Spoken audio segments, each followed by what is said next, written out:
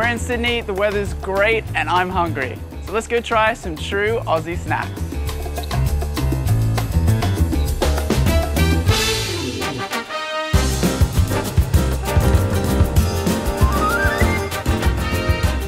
This is Vegemite on toast. It's the ultimate Australian breakfast food. It's a spread made from leftover yeast extract at the end of the beer brewing process. Now the flavor on its own is pretty intense.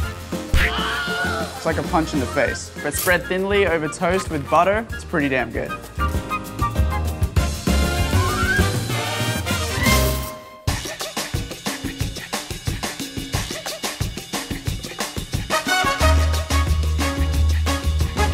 Hi, can I please have one classic mince pie?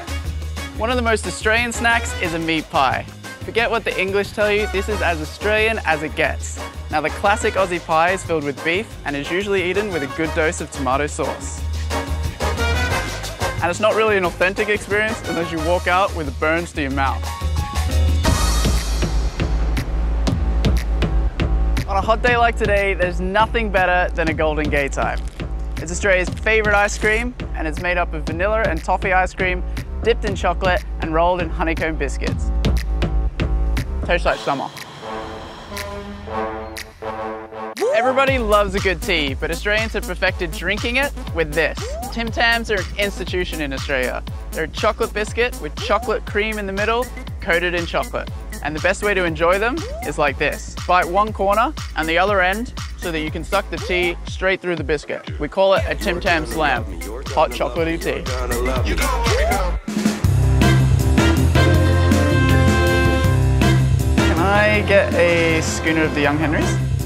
When it comes to lunch, you can't miss out on this Aussie staple, the chicken parmi. It's a chicken schnitzel pimped up with tomato sauce, cheese, and a slice of ham. If you thought the chicken schnitzel couldn't get any better, you'd be wrong.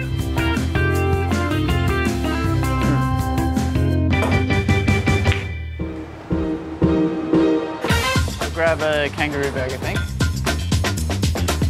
Kangaroos are kind of Australia's national animal, but they're also pretty damn tasty.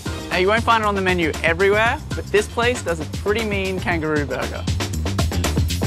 Another super Aussie thing about this burger is the addition of beetroot. You'll only get that in Australia and it adds like a nice sweetness to the meat. It's good, worth trying.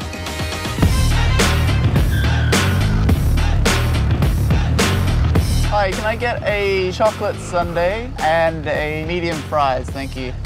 Macca's is definitely not Australian, but as you've seen so far, we're pretty good at taking something original and elevating it to the next level. I present to you soft serve and french fries. Why have chips or ice cream when you can have both? Salty, sweet deliciousness.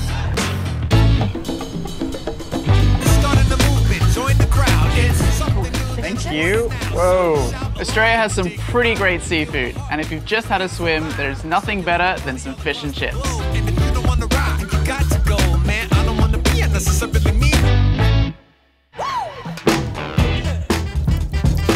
If you go to an Aussie bakery, you may come across these. This is a Lamington. It's sponge cake dipped in chocolate, rolled in coconut. Fluffy, chocolatey goodness.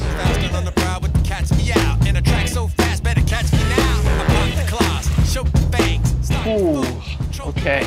Now you can get kebabs pretty much anywhere in the world, but something a little more Australian is the halal snack pack. Concept's pretty simple. It's a good serving of chips, covered in kebab meat, smothered in garlic, barbecue, and chili sauce.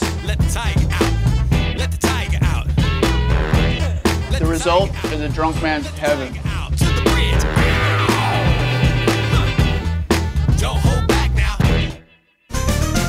Australians have a bit of a reputation for being big drinkers. And this might be our best invention. This is boxed wine, also known as goon.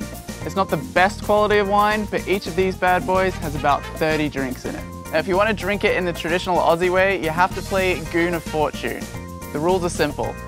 You attach the goon bag to the clothesline, give it a spin, and whoever it lands closest to has to drink.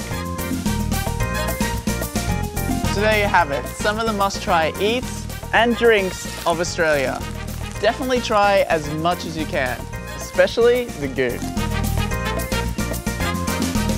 Or maybe not.